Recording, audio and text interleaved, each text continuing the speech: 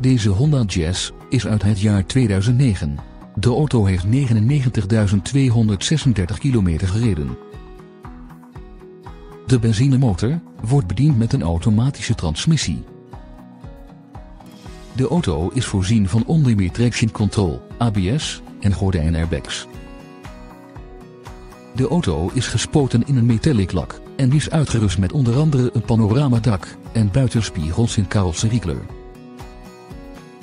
Uit de lijst opties worden het extra getint glas, de bestuurderstoel met verstelbare zithoogte, het multifunctioneel stuurwiel, de in ongelijke delen neerklapbare achterbank en de centrale deurvergrendeling met afstandsbediening genoemd.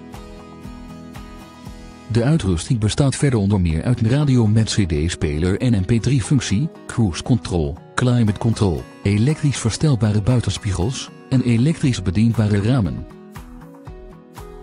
Als u nader wilt kennismaken met deze auto, die wordt geleverd met BOVAG garantie, komt u dan gerust vrijblijvend langs voor een proefrit.